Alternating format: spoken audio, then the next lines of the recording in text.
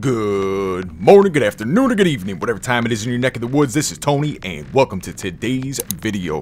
So today we're going to be playing with the Frozen Dagon and Ardent Spears. We have Nuclear Amp, Immune Amp, Last Stand, and Phase Shift. We're using the Pascal drone, and we have the good old Otto Schreier pilot. We're using Energy Shields Expert, Master Gunsmith, Crazy Electrician, Dodger, Armor Expert, Stubborn Warrior, and Roadhog along with the Avalon Mothership. We also have a brand new giveaway going on for Inferno weapons. All you need to do is like, comment, subscribe, turn on the bell icon, and select all. In the comment section, put your pilot ID, platform, and hashtag WR Win Inferno from now until the 28th. Good luck to everybody.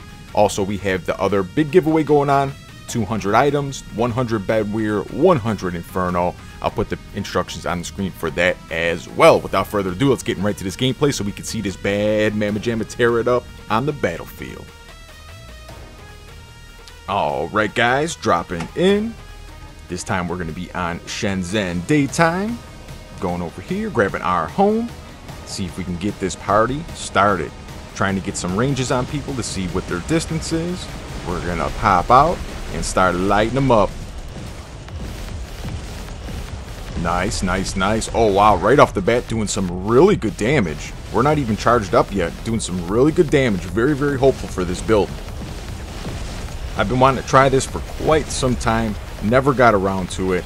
And today is the day. And I'm really excited for this, man. Spears used to be a ton of fun. And I really feel like... Ooh, nice. Alright. I really feel like... um. This reminds me of the old days in the Spear Khepri uh, prior to the nerf because now we have six weapons instead of four. So it's like it's making up for that damage loss from that nerf. Alright, cruising around. Ooh, very nice. Double kill. Look at that triple kill. We are roasting them and toasting them up. So when you when you play this build, I highly, highly, highly recommend for you guys to alternate your shots. As you guys can see, I'm alternating them right now. It's much easier to do on mouse and keyboard. I'm playing on touchscreen right now, and all you need to do is click around the wheel each individual weapon and then hold down the center of that wheel, and the, the same sequence will continue to fire the same way you pressed it. Look at that. We are on a beyond godlike streak already, guys. Holy cow. There we go. Living legend, even though he was in stealth. Look at this Curie. Curie up. We got to go into phase shift. This is going to be trouble, guys. We had to go into phase shift to preserve our life right there. We didn't want to go down. Here we go. Taking him down as well. Living legend. Can we get him as well? Oh my gosh. The legend continues. There we go. Taking out that Curie. Now we're cooking with grease. We got this thing charged up and we are freaking unloading on these guys. oh my god. This thing is freaking awesome. Holy cow. Holy cow. Okay, you see right there? After I went into phase shift, I forgot to start re-engaging and alternating my shots, so I was shooting them all at once, and that's why I was having trouble getting through his shield. I'm back alternating my shots again, as you can see on screen, and things are going down much, much quicker. Uh-oh, we got Titans in. Ooh, look at that. We got a Ming in the air. Let's go focus on the Ming, because the Rook's going to be too hard to try to break through his physical shield. There we go. The legend continues, baby. All right, this Rook is trying to focus on me, and he got stuck up on that building. Let's see if he could focus up on this Ming right here. Beautiful, beautiful, beautiful. He's trying to get behind cover. We're putting ourselves in grave danger right now, trying to hunt this Ming down. Oh, very nice. That Rook is laying into us right now. We need to be super careful. This Ophion's going into flight. See that Rook keeps trying to come after me once again. He's got it out for me, man. He has really got it out for me right now. All right, let's pop around the corner, start alternating some shots. Can we take this down? Boom, the living legend continues, baby. All right, let's see if we can get this Ophion before he gets into flight. Oh, no, he's starting to go into flight. We are surrounded by a bunch of Titans and a flying Ophion right now. We are in a bad, bad predicament, folks. We may not make it out of here. Oh, we get taken down. But, dude, amazing first run with this freaking Dagon, dude. Holy cow. All right, let's get the Junebug in there. Let's feed the Junebug. The Junebug wants some action he got jealous, man. He's like, you can't have fun with, all, with that Dagon and, and not bring me out on the battlefield with all these Titans. This is the original OG, number one, first ever Titan slaying robot. He wants some Titan slaying action. Let's see if we can feed the beast right now. Uh-oh, uh-oh. There is a lot going on in this parking lot side. There's a whole lot going on. Blasting through.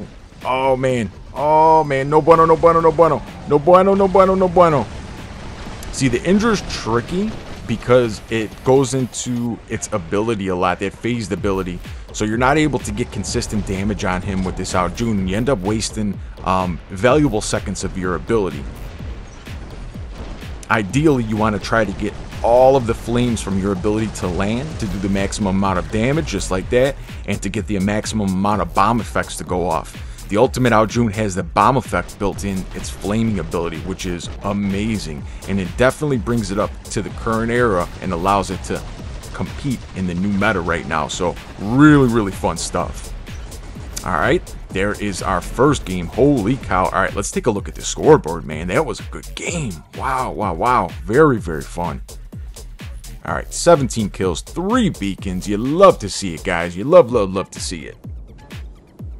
Alright, this time we're dropping into Moon Map, another beautiful small map. Love the small maps, love the brawling maps. That's that's that's my jam, man. That is my jam. Alright, trying to thread the needle on that dude over there. So the hard thing is once I start pressing, so keep in mind I'm on touchscreen, right? So once I touch all my weapons in sequence to get them firing in a sequence, now I have to hold my finger down so I can no longer press that bottom button to change targets. So I kind of just have to swing my crosshairs around and hopefully it lands on the target I want. So this is where like PC players have a large, large advantage. Oh my gosh. Oh my gosh, that guy's so tanky, dude. What in the world? Alright, we got to be super cautious, man. Because you don't want to get taken out really quickly in this robot. You want to get your nuke amps charged up, get your immune amp charged up, and all that good stuff. And um, you could even throw a repair amp on there too and put the shy drone so you have a last stand. That's another good option as well. Beautiful, beautiful, beautiful. First kill. You love to see it. Starting this baby off. Trying to get this Curie, man. Curies are super lethal, especially with those rust weapons. Subduer, super, super lethal. He's trying to get out of our range. He knows we're doing big damage on him. Alright, here we go. Chasing this guy down, walking him down. Alright, let's try to focus on this Curie before he gets his next ability. There we go, triple kill. You want to seize the opportunity, guys. When a Curie's ability ends, you want to try to put as maximum amount of damage into him as possible. Because as soon as he gets his next ability charge, he's going to get a big healing pulse as well. So you got to always be remembering that when fighting a Curie. And especially if he has phase shift, it makes it even trickier because now he has 4 seconds to go in phase shift, which makes the time that he's vulnerable to getting attacked even smaller in between his ability timings. Alright, we got our godlike streak rolling. Let's see if we can finish this Ravanya off. He's going, I think this is going to be his last Transcendence. Yes, it is. Beautiful. Beyond godlike. Alright, let's see who is where and what are they up to. Alright, let's try to get this Ophion as he's landing. There we go. Beautiful, beautiful, beautiful. Nice. Living legend. Alright, we got some guy flying up there, laying into us. We're going to try to go through the bottom there and shoot that guy at the other end. Okay, now that he landed, I want to try to focus on him because he was actually shield breaking us, doing a lot of damage. Uh oh we got a jumper. We got a jumper, folks.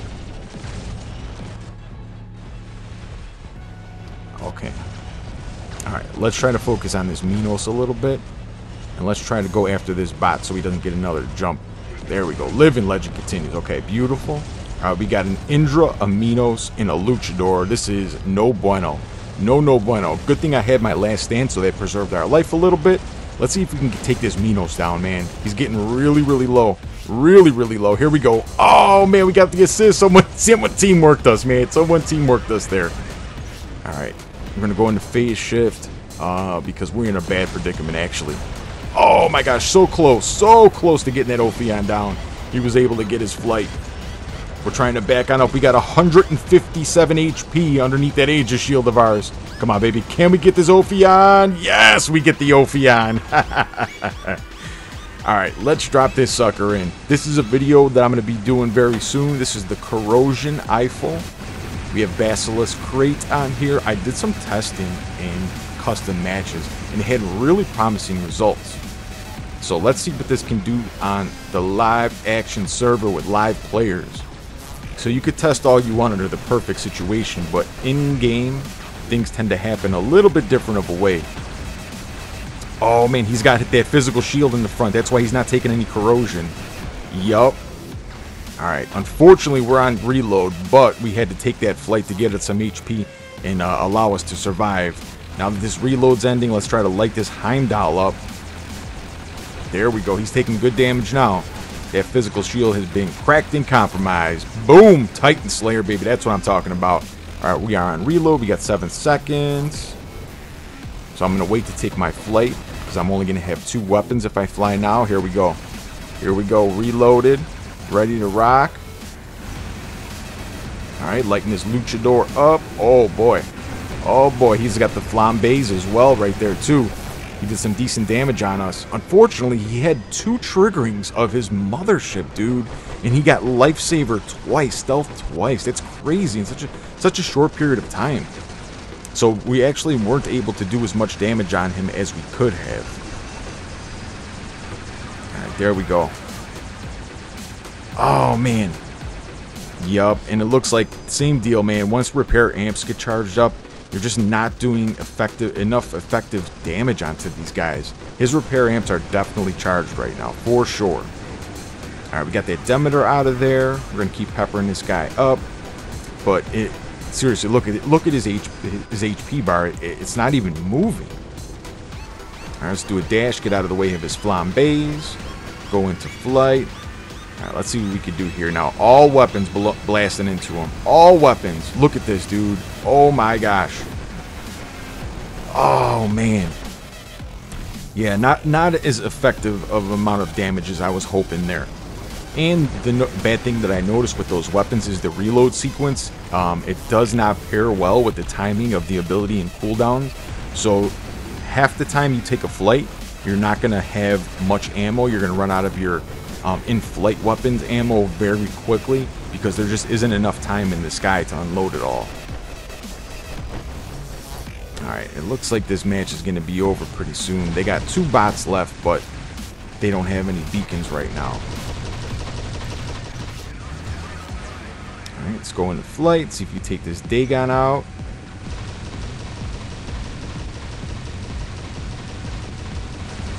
Yeah, I wonder if he has a fortifier because his uh, Aegis is is getting replenished very quickly. Very, very quickly.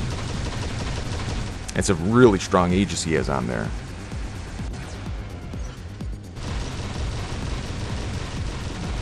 Had this been flames, he would have been evaporated in the, the blink of an eye. But I just want to try out some different stuff, man. I'm just experimenting. You know, I, lo I love experimenting with off-meta, non-meta stuff it's a ton of fun, especially when you could find a setup that's super effective, like the uh, the Zappies on the Amugi.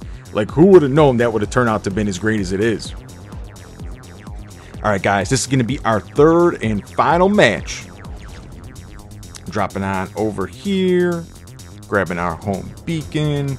Then I think we're just going to cruise up this left side and see what type of trouble we can get into. If there's somebody close in center, we may go that way. And if there's not, we may just push straight home to their home beacon. We shall see. We're getting peppered up by some homing rockets from a distance. There we go. There we go. Good damage on him. Taking him down quick. Get the kill. Peppering him up as well. Double kill. All right. Can we get that triple kill real quick? Come on, baby. Yes, baby. Yes, yes, yes. Let's keep going this way. We're getting some nice kills over here. I want to try to get this crisis. Here we go. Here we go. Here we go. Beautiful. Is anyone to drop here? Is anyone dropping? Is anyone dropping? Nope. Alright, so we have the whole left side of the map, which is nice. If we could just keep them to center in that flank side beacon, um, that would be really nice. But let's see. Let's move up. Let's see if we can cap this center. Uh-oh. Uh-oh. Uh-oh. Yes, Beyond Godlike. Dude, we're cooking with grease, man, so quick. Three games in a row, man. We did a really great job with these. Um, I didn't cherry pick the best footage. I just played three games in a row, and this is what we got, man, so far. Very nice. Very, very nice. All right, let's see if we can... Mm -mm. Nope, he goes into flight. All right, let's target this dude. He's trying to go for his home beacon. Oh, man, living legend. All right, let's get this guy's last stand triggered. Very nice. Do a little shaking groove, side to side, get up in his face. Oh no, the Deaf Survivor. He got his Deaf Survivor Who's able to get another flight in there. Alright, who is where? Who is where and what exactly are they up to right now? That's the question. That is the question. We got a couple guys on top. Got a couple guys over on that side. Everyone's spread out. Nobody's in close proximity. I bet you this living legend streak, we're going to lose it. Oh, man, that, that stinks.